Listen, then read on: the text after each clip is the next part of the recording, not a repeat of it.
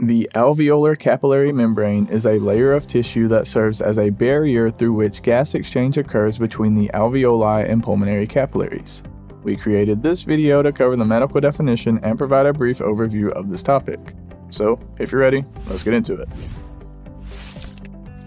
You may have heard it referred to as the blood-air barrier because the alveolar capillary membrane forms the layers of tissues through which gases must diffuse. This membrane is formed by the type 1 pneumocytes of the alveoli and endothelial cells of the capillaries. There is a basement membrane between the two cells. The barrier is permeable to molecular oxygen and carbon dioxide, which allows for cellular respiration to occur. Some of the factors that influence the diffusion of gases across the barrier include pressure gradients, the thickness of the tissue, solubility, and the diffusibility of the gas. Perfusion refers to the amount of blood that flows to the alveolar capillaries. For the body to be able to obtain oxygen, there also must be a sufficient amount of blood passing through the lungs to pick up oxygen molecules so that it can be transported to all of the organs and tissues of the body. Ventilation refers to the amount of air that enters and leaves the alveoli.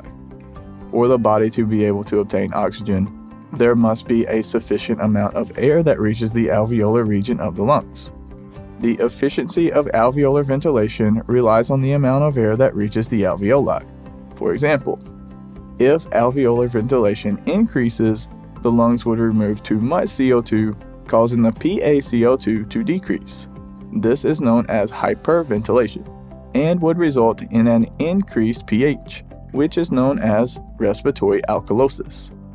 The opposite is true if alveolar ventilation is decreased because then too much CO2 would accumulate in the body, causing the pH to decrease, and this is known as respiratory acidosis.